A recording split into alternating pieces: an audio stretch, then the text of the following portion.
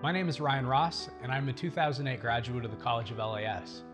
Since 2015, I've worked for the University of Illinois Alumni Association, where I'm the curator of the Richmond Family Welcome Gallery.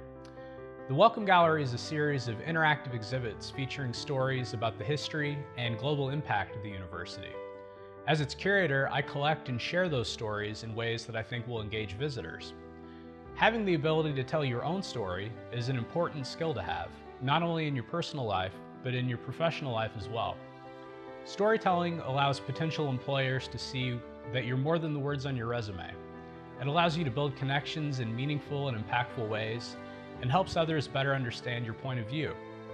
While there are many ways to tell your story, I like to share a few helpful pointers using my own professional story as an example. Number one, set the scene. I grew up in central Illinois, and the U of I has always been a part of my life, whether it was as a kid going to basketball games with my dad, or in high school reading about faculty research in the local newspaper. After I became an undergrad at Illinois, I got really interested in the university's history. And the longer I was on campus, the more interested and knowledgeable I became.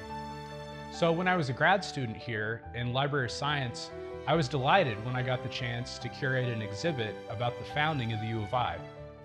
I had never curated an exhibit, but I quickly found that I had a knack for it for using images, objects, and words to tell a story that resonated with people. Several years and several exhibits later, I got the opportunity to come to the Alumni Association as the first curator of the Welcome Gallery. Number two, learn from others. The Welcome Gallery features exhibits on more than 130 topics at a time, everything from student life over the decades and world-changing inventions to alumni achievements, sports, and university traditions.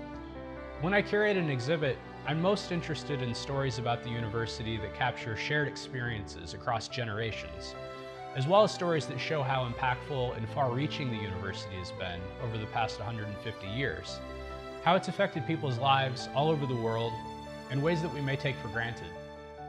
When I'm working on new exhibits, I spend a lot of time reading books and newspapers and looking through records in the university archives, searching for stories and materials that I can display.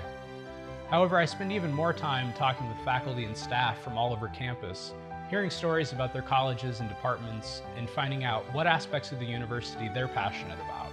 And I always learn something new that I can use, something that complements or expands the story I found in the newspaper or the archives. Number three, be genuine. Remember that you have a unique point of view, and only you can express it.